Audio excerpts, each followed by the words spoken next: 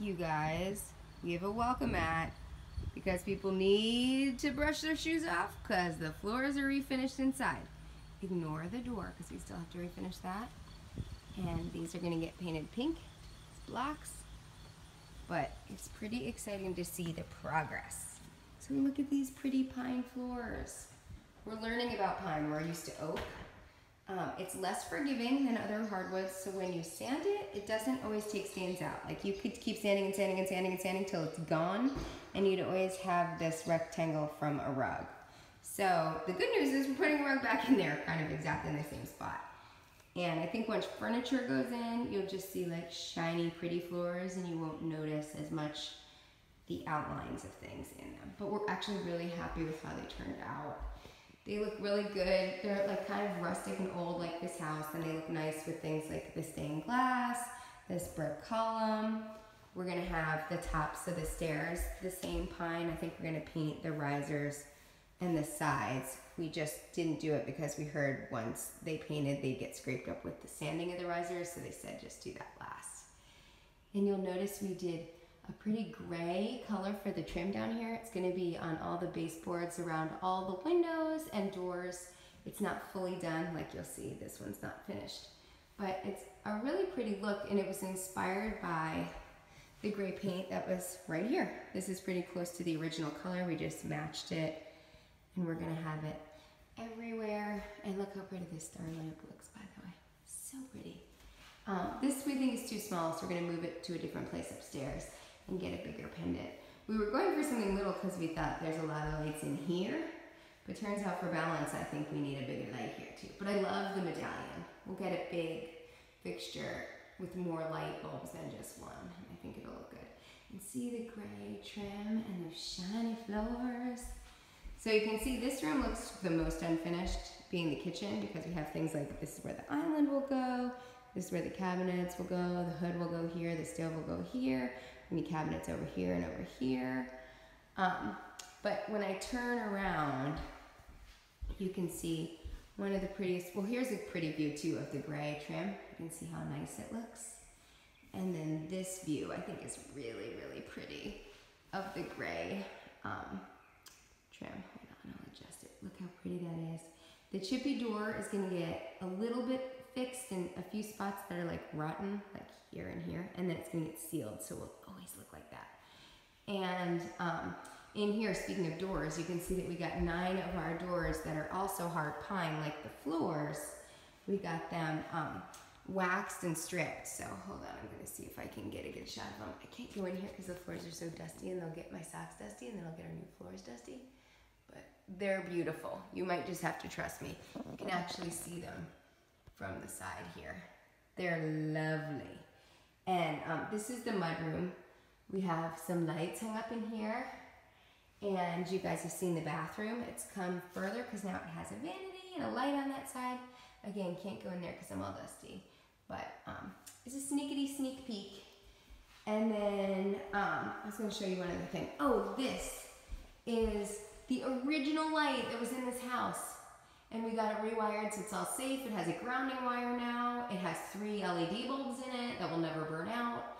And I am obsessed with it. It's in the breakfast nook, um, centered. It's gonna be over the table and the window, once we add them, they're gonna be right here if you can picture it.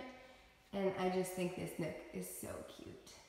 So spinning back around, you can see that, I mean, once the kitchen goes in, it's just furniture time. We do need quarter round.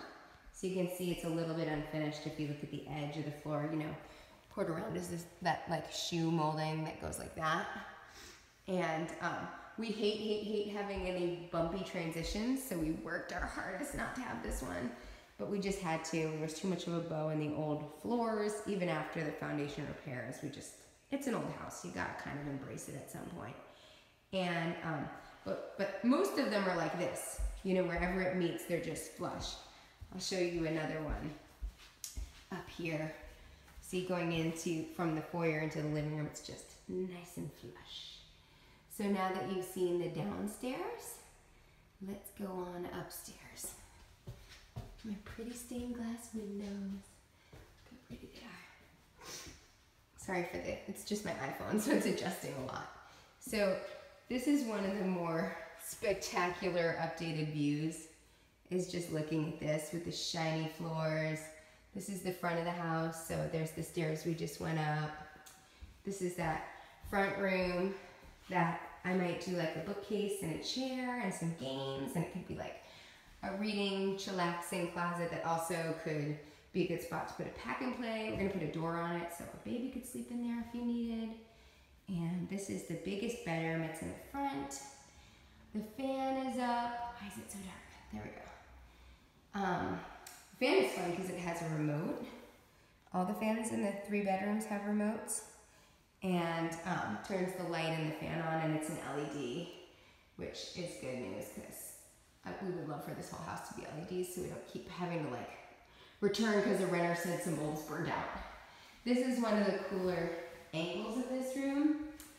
Um, this niche we added a sconce into, although we're debating more of a two light sconce so it fills up more space, like that. And this exposed brick we found behind the wall and we're able to expose it just like we did downstairs. So we picture either like a dresser going in here with maybe a big mirror or art above it. It also could be shelves and a dresser or even like a bench with baskets. So there are lots of options we're weighing and I think as we furnish it, we'll figure it out. Here's one of the nice closets.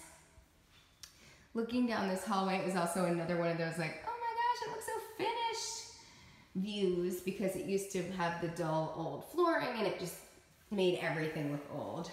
So here's the second bedroom. It's kind of in the middle of the house. And it has a closet too over here. You can see up here we just did white trim with sort of a gray beige wall. Just think that'll go with a lot of beachy things and colorful bedding and all the other stuff we'll layer in. This is the bunk room. So it's going to have a built-in bed with drawers under it, hopefully a twin extra long we think we can fit, and then it will have, you know, a second tier up here for another twin long so we can put the kids in this cute little room. It probably has a room for just like a little table or a dresser right here and it's very small and cozy. Here is the hall bathroom, one of my favorites. We love, love, love, love, love, love, love this tile. And um, this vanity is amazing. It's hard to see in this light, but it's wood and it has, hold on, I'll adjust it for you. It has a marble top and it's pretty. We didn't expect it to be tile, but it's actually still very beautiful. And it looks so pretty with this um, widespread faucet and we have the light in, so we just need to add our mirror. Um, and I cannot wait to shower in here. Cannot wait. So then back in the hallway, so remember I was coming down this hallway. Um, I'm spinning back around. This is the back bedroom, which is small, but it's the master because it has the bathroom attached. There's that hall bathroom for everyone else, but this one's nice because it has a private back staircase and you come up the staircase and you still get the light from this window, but if you want privacy, dun dun dun dun dun dun dun dun, dun. Inspector Gadget music. Those fully closed, but they're freshly painted, so I don't want them to stick. They're um, actually the pretty blue color of the tub. We thought it would be fun to do them in accent color. We were gonna try and keep them chippy, but they kept flaking and flaking and it was just not looking clean, so we had to paint them, but I think it's really fun to add that color sort of in the back of the house on the tub as well. And um, so you could come up these back stairs and enter this um, bedroom and we're gonna have, you know, bed, nightstand, probably room for like a little table or something here. And then here's the master bathroom pardon all the stuff, and the tub that I scrub, scrubbed within an inch of its life has like dust in it now, so I have to re-scrub it. But it's all hooked up, and um, it just looks really pretty in here. Hold on, it's too dark. It, I, I really, guys, apologies on the film quality. John is gonna not love this. And do you wanna see a sneak peek at something we don't love? This tiny sink is stupid small. we were so worried that this side was going to feel tight with the shower, which is going to have like a glass pane that goes right here, that we went for a tiny sink. And so what we're going to do is exchange it for a pedestal. So it will have the base and it will be a little bit wider and it will feel a lot more balanced. And then our idea up here is that we centered this light fixture on the wall instead of over the sink. And so we're gonna put a big mirror over the whole thing. And with the bigger sink, it's really hard to see from this angle. I would get in the tub, but it's so dusty and then I'll get dust in my floors. But um, hard to see right now. You probably are not convinced. Give me a chance to put the mirror up and get the right sink in there and the painted glass. And I really think it's gonna completely work in here. So moving back out, pretty little light fixtures almost everywhere. Um, most of them are staying. Some we've seen up and are not as in love with them. These feel like a whole lot of pan and bulb. We pictured them looking more like this, you know, like this angle, but you really see them like from way below and they look like this. So um, we might switch them out. They were affordable and we can put them in other places. And don't forget, we have the duplex. So like if we have lights in the closets of the duplex, we can use things and stuff in other places.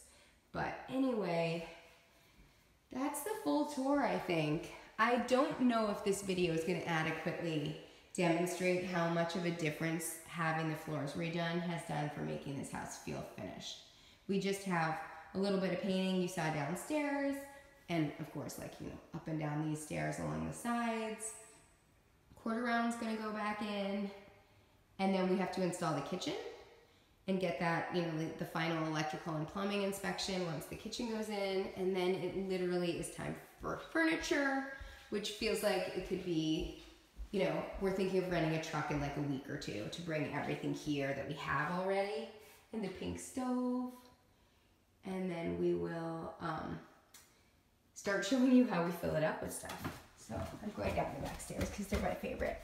The guy who redid our floors is a magician, and he made these steps, which were like cracked and broken, look really great. And once the risers and sides are painted, it's gonna look completely wonderful. This is the view back towards the front of the house. Don't mind these sconces, they're taped off with blue tape. I didn't want you to think we went with like a electric blue sconces. So that is the whole tour. Remember, breakfast nook, this is that mudroom and the bathroom downstairs with all of our pretty doors in it. And then this is looking towards the front. One of my favorite things is this curved wall. I always wonder if it doesn't communicate in pictures or video. And it's not fully painted correctly. That's why it looks wavy. That's just the paint. It's a perfect round turn. But in real life, it's really one of the coolest details of the house, along with things like the stained glass. So that's the end of the tour. Oh yeah, we have a transom in now. So lots of exciting stuff. We even have numbers coming to put up in the transom window. So, okay, um, you can tell I'm really excited. I'm showing you like a thousand different angles of this house.